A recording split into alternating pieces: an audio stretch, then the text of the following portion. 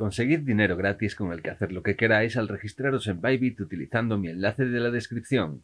Échale un ojo si quieres algo de dinero gratis.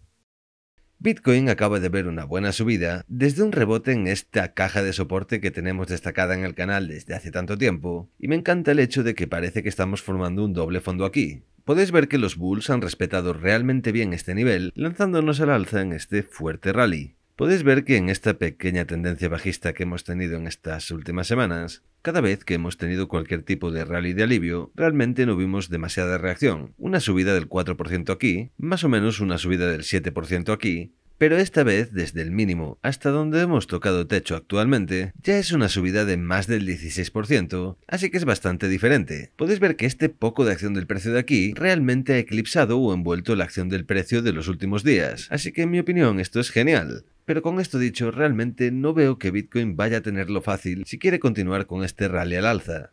Ahora mismo estamos flirteando con esta caja de resistencia que tenemos destacada desde hace tiempo en el canal, así que tenemos este nivel de resistencia de aquí, y luego también tenemos un montón de resistencia por encima de nosotros. Aún así, lo que me interesaría ver es que si acabamos teniendo un rechazo de la acción del precio aquí, me interesaría ver cómo de bien respetamos este nivel de nuevo, si es que volvemos a alcanzarlo. Me encantaría ver a los Bulls dar un paso al alza si retesteamos este nivel de los 36.000 dólares, más o menos en el techo de esta caja, el motivo por el que esto me parece mucho más posible después de haber iniciado este rally de aquí, es que esto les dará a los Bulls mucha confianza para que si caemos a estos niveles, podría ser buena idea apretar el gatillo de nuevo, así como cualquier shorter o vendedor que esté vendiendo desde aquí, una vez que volvamos a bajar hasta esta caja de nuevo, podrían dudar bastante sobre dejar esas posiciones abiertas, incluso si solo empiezan a sacar porciones de sus posiciones, básicamente tomando beneficios, esto se añadiría a la presión de compras, lo cual también ayudaría al precio a moverse al alza. Así que esto es algo a tener en cuenta, pero, como ya he mencionado, Todavía tenemos muchísima resistencia por delante y algunos de nuestros indicadores favoritos lo están verificando.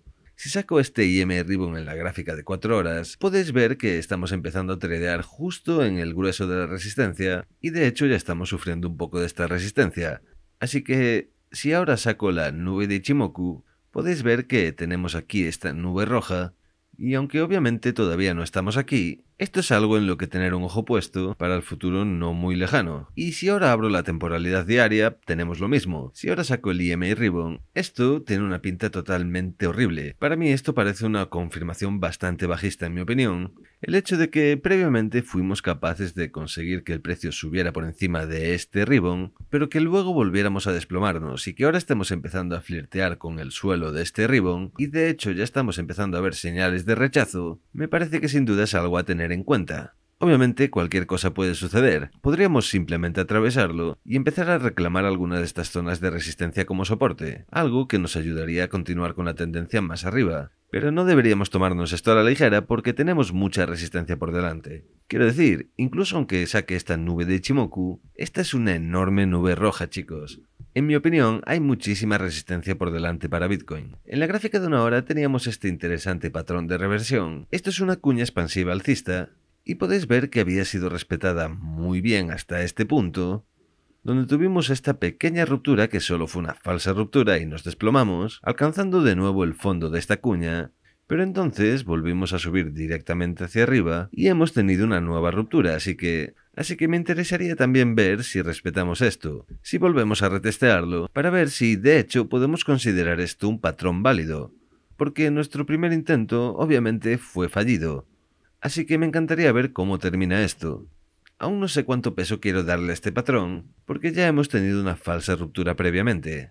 Y si nos fijamos en el índice de miedo codicia, aún seguimos en este territorio de miedo extremo, pero esto probablemente cambie mucho cuando se actualice. Una subida como esta realmente podría restaurar la confianza en el mercado bastante rápido. Y bueno chicos, si apreciáis este resumen del directo del canal principal, Sammy Loyal for Flies, por favor no os olvidéis de darle a like y suscribiros al canal. Y si tenéis tiempo, echadle un ojo al directo completo en el canal principal, ya que hay mucho más análisis en profundidad que sacar de ahí.